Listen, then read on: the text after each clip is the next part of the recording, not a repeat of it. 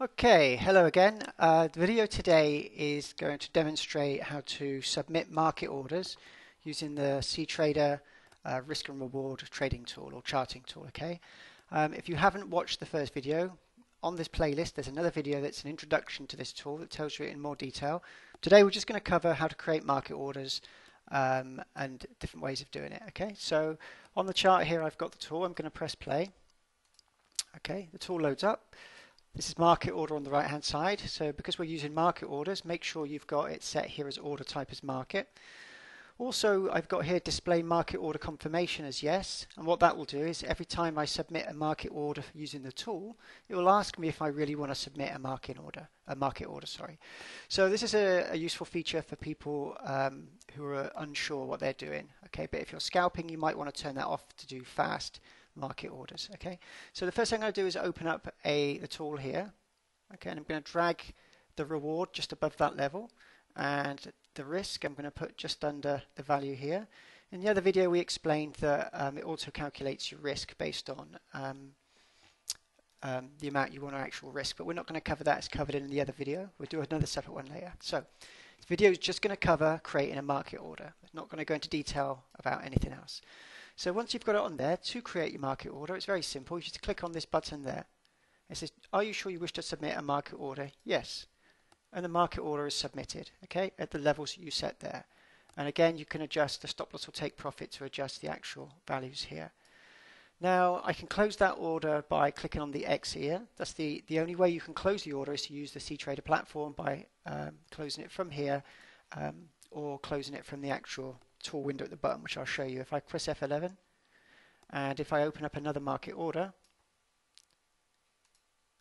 okay, yes, you can see it's down here. This is the position. So you've got a few ways of uh, closing the order. You can just press the X here, or you can actually click it from there. Okay, that's the only two ways of doing it. Now I'm going to go back into settings. I'm also going to turn off auto confirmation. Okay, so now what's going to happen? I'm going to do a sell this time and I'm going to readjust the levels and I'm going to click the sell to create a market order. That's created a sell market order. You can see the values down here. Um, and again, you can adjust the stop loss or take profit to anything you want once it's open. You can just readjust to adjust your risk. And you can obviously reverse the trade, um, double up the trade, add extra protection, add a trailing stop. All the other features that you get with the CTrader platform, you can do an advanced stop loss on it as well. So um, you've got all the features you've got with the CTrader platform to actually modify this position once it's open. Okay, um, and again, if you, like I said, if you move the stop loss, it readjusts your risk. Um, a separate video. If you haven't, already familiar with this, this tool will actually auto adjust your risk based on your risk that you set um, in the value in the settings folder. Okay, I'll cover this one again separately. So what I'm going to do now is close that, and I'm going to show you another way of opening a market order. Okay, so instead of, I'm going to close that too and go for buy. So instead of using the tool to create a market order, you can just use this for risk and reward, and you can just create a market order in the new way, uh, sorry, the normal way, using CTrader. And I want to create a buy order, um, and you can set your stop loss or take profit. Um, you can do the price. You can enter the price here that you want it to be, which is the same price there, 145195. So you can see how much quicker it is using the tool to do this uh, rather than, oh sorry, that's stop loss. See how much quicker it is to use the tool to do this rather than actually going and, and creating this.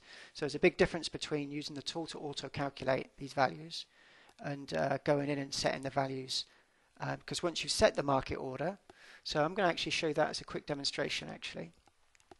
So the idea is, um, if I wasn't using this, oh, I've got to close that down just a bit. If I wasn't using this tool, if I close the tool down and just close it completely.